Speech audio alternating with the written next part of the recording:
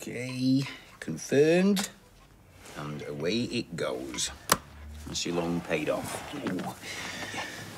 Look, I know words are pretty useless, but. Ta. Don't even give it a second thought. Please.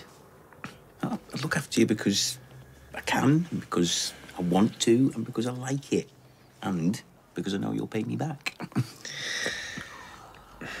Even so, it don't make us equal, does it? We will always be equal. And, you know, once you, you're back working with Ed, we'll just set up a payment plan. That's, that's all in the future. This is a marathon. It's not a sprint. I want to take you out for lunch later. Know, lunch costs money. And you haven't got. Look, I think I can stretch to two toasties. As a thank you. I know it's not much, but. uh, Jeez, so what? You could burn your tongue. How could I possibly resist?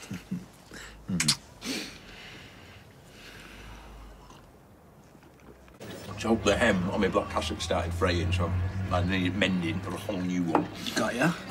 And I think cleanliness is next to godliness. So I can't be offering communion looking like a scruffy beggar. Guess not. Mm.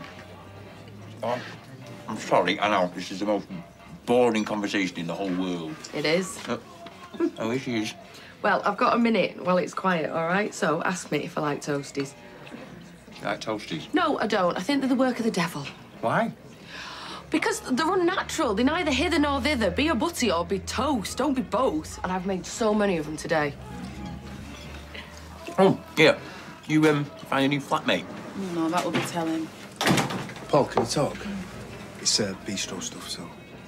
Um, can it wait? I'm just eating something. No, it can't. Okay. Is everything all right, Damon? Good sir. Um, I'll be two ticks. Dead man, though. Yeah, I know. Are you completely and utterly brain dead? No, but- So I'll ask you again. Why did you steal a car from a dead man? How was I supposed to know this Rufus guy would end up in a swimming pool? This is exactly why I didn't want to get mixed up in your rubbish in the first place. Anyway, Niall wants you to get rid of that car. You what? You need to get rid of it. Get rid? Dispose of it. Yeah, but... Look, don't argue with me, Paul. Niall's not someone that either of us can afford to upset, right? Your toasty's gone cold. Oh, yeah, I'm sorry, Billy. Damon needs me at the bistro. Really? Yeah, sorry for ruining your date, mate. Oh, oh it's not really a date.